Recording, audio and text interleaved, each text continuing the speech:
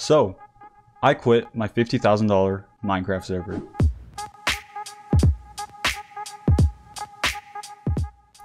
Hi, I'm Kite, and I'm the founder and owner of Karma Network. A lot of you probably know me because most of my subscribers are you guys subscribing for the Karma Network trailers. And yeah, Karma Network, if you don't know me, is an anime RPG Minecraft network with just one server inspired by Sword Art Online.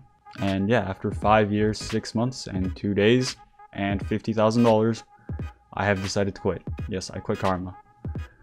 And why did I do it? To be frank, I lost my passion and motivation for the server. But to explain why that is, first we need to take a step back in history.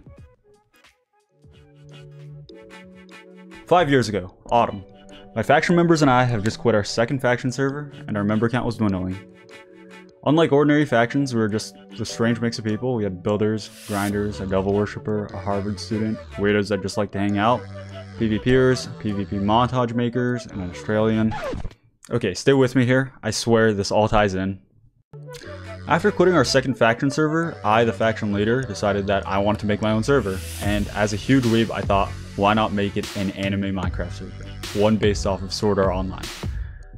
And a hundred bucks and an MC Pro hosting server later, my faction Karma had its own server. Now, this was a time when the general player base knew little to nothing about server hosting, other than running Hamachi off their basement potatoes. Legit, my dumbass thought you could hop on Google and just download all of Hypixel's plugins. So yeah, after two weeks of grabbing random RPG plugins off of Bukkit and building with my faction, doing random little setups and doodads, Christmas Eve 2015 comes along and my server was ready. Yeah, after two weeks, Karma Swordcraft Online was ready. Obviously, we couldn't just launch the server and expect people to show up, so we needed a trailer. And one of my real life friends biked over on Christmas Eve, and as the two people who dabbled in PvP montage making, we spent all night on Christmas Eve making the first trailer for Karma, which you can see playing in the background, and was it complete garbage. Like, it was really bad. Basement potato quality, 20 FPS, not even. But yeah, that was the first trailer.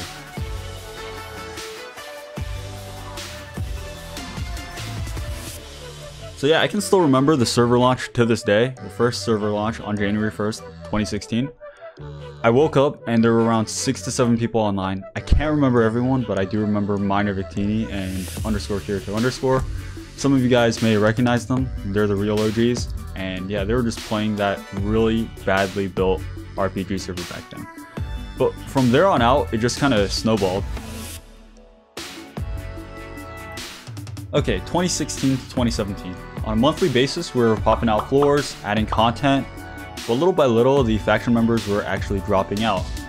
Now, back then, and a little bit now, I was pretty egotistical and selfish, and while I loved hanging out with my faction, the server idea was mostly just all mine. Everyone did pitch in to help, but they were just killing time and they weren't actually invested in the idea itself. And after about a year of this, I was the only one left. At this point, I was considering quitting. Like, I really had only myself to work on the server, and that was, you know, pretty hard. But there were players online, and we actually had a few YouTubers who regularly played on the server. And that was Silvernips, who has since retired, and Kazuto Online, who is now an SAOMD gacha gamer. And both of them posted videos or series on our server quite regularly, and they had around 10k subs at the time. So we were growing, and honestly, to this day, I'm still really grateful that they gave such a mediocre server any publicity at all. So yeah, with the money I made, or with the money the server had made, I decided to take the next leap of faith and actually start investing in builders, YouTubers, and developers, and a much larger map.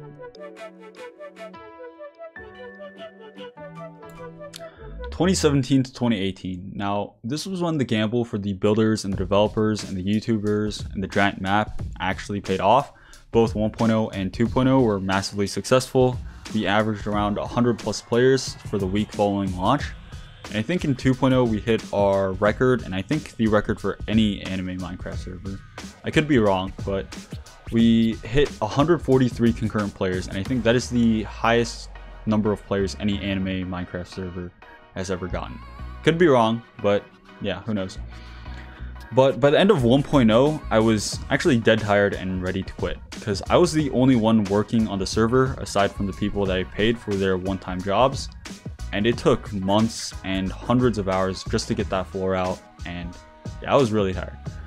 But it was also around this time that Isosceles, a server developer and now a server owner, contacted me and started developing plugins for the server. And it was also around this time that Sword Art Online Ordinal Scale came out.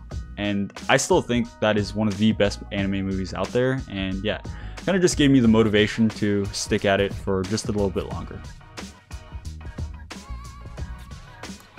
So 2018 to 2019, these were probably the worst and most eventful years for Karma Network, not in a good way. This was probably around the time that I truly understood the complexity of running a Minecraft server. You have to have your own dedicated servers, your own developers, your own system administrators, and all of these were really expensive. Like I kid you not, these are all genuine careers that people live and eat off of. Greg, later to be the second owner of the server, joined the staff team around this time, and we moved over to our own dedicated server and started looking at the whole serverscape a bit more professionally. Now, things took a turn for the worse around mid 2018.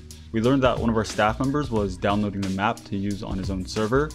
Now, this was a map that my faction members and I had spent hundreds of hours building up, and something we paid builders to add on to, so obviously we were very annoyed. He was asked to stop and swiftly demoted, but after being warned and demoted, he was actually caught doing this a second time, and then he was banned. A month or two goes by, and we hear that he's continuing his plans, and at this point, I decided that this person just was not listening to us, so I issued him a cease and desist, which is basically the legal way of saying stop or you'll be sued. Now, to summarize what happened next, because it's pretty much impossible for me to record this part without kind of blowing up, this person instead of apologizing or ignoring or doing anything else, what he decided to do was he hired a real life lawyer who basically attempted to get me to appear in a courtroom halfway across the country because this person was stealing the map that my faction members and I have created. So I needed to fly to a courtroom halfway across the country over Minecraft because someone else is stealing my Minecraft content. Obviously, I was pretty anxious and pretty depressed and pretty frustrated and annoyed over this whole situation. And very few people know this because I haven't told this story before. Like there's real there's really no point for me to tell this to my players. But it was around this time that I really lost most of my motivation for the server. Like who wanted to continue working on a server where they basically put their passion and motivation into and what it got them was a court case across the country. Like how, how is a 15 year old supposed to explain that to his parents. Look, I got called up to a courtroom across the country because someone else is stealing my stuff and I basically legally told them to stop. So yeah, it, it was pretty obvious that I was really demotivated at this point and basically what ended up happening was it cost the server a decent amount of money for our own lawyer to actually reach out to this lawyer and basically get the whole court case issue thing resolved without me going to court. But yeah, my motivation was pretty much dead bottom around this time. So 2019, this was probably when my depressed and unmotivated state actually started showing in updates. Some of you guys may recall floors 5, 6, 7, and 8. I was really depressed at this point. For floor 5, my half-finished build, I hired a builder to complete. For floor 6, Sorp joined the staff team and content creator team around this time, and he actually did most of floor 6 on his own. And for floor 7 and 8, that was just basically a treacherous grind for me, and the content became really stale. I didn't really have any motivation or passion or creativity to play around with quests. I didn't go and look for new features to add to the server. So basically, it became the same old rinse and repeat of get endgame item and then wait for the next floor and then get the next endgame item and then wait for the next floor. And that's kind of how 5.0, 6.0, and 7.0 all went. So six months ago is probably when I could finally see the end in sight. We finished 7.0 and floors 7 and 8. It was also around the time that I decided I would give it my all just because of how lackluster the past few floors were and I wanted to quit with every single update but I just never ended up doing it. And instead of pumping out garbage content, to be frank, I would basically give the players a genuinely good update and quit for good because I knew that I could still put a lot of motivation and passion into the server, but it's not something that I wanted to do anymore.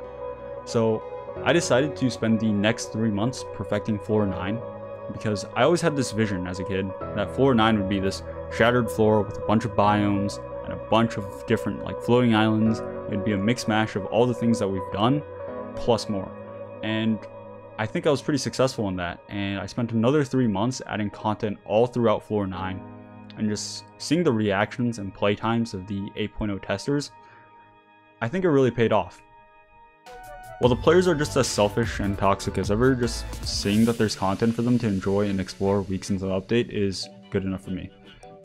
Just looking at the content routes in 5.0, 6.0, and 7.0, and seeing that they're still looking for quests and items 3 weeks into the update without having to grind thousands of mobs, I know that they know this update was by far the best one yet. So to wrap up the long history of Karma Network, the first and only large-scale Swordcraft Online server that was ever completed, we're full of bugs and we're always crashing, but it's a unique and amazing experience. So I lost my passion and my motivation for the server and Minecraft a long time ago, but what really kept me going for the past few years was the fact that there were players on the server at any given point in time. I just felt obligated to get that next update out because this was something that I started and something that I wanted to see through. And while $50,000 sounds like a lot of money, split between the developers and the server costs, I probably wouldn't have come close to scratching the poverty line if it was my means of income.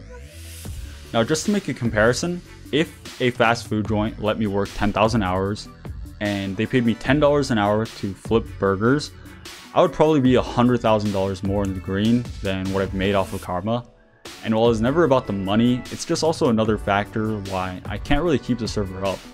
I have my future to think about, and honestly, I just no longer want to work on the server. And if I had to do it all over again, to be honest, I probably would quit the server on day one. One of the few things that I really regret about the server is that I didn't value my friends and my faction a bit more than the server itself. So yeah, as a college student, during the end of a pandemic, I'll probably relax and watch some anime, play some games, do normal things people my age do, which I have no idea what they do, but yeah. Maybe I'll upload a video from time to time and dream of it blowing up so it can make me a YouTuber. But all joking aside, I probably won't shut down the server or sell it off. What I'm really hoping for is that Someone that really enjoys playing on the server might want to make that switch from player to owner and take my place and make content for the server.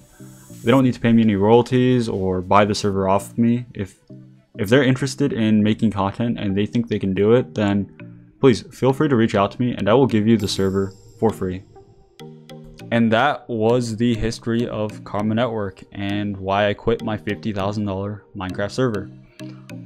Honestly, what I realized throughout this video is that I suck at speaking and hopefully you enjoyed any part of this video at all because it was probably really boring.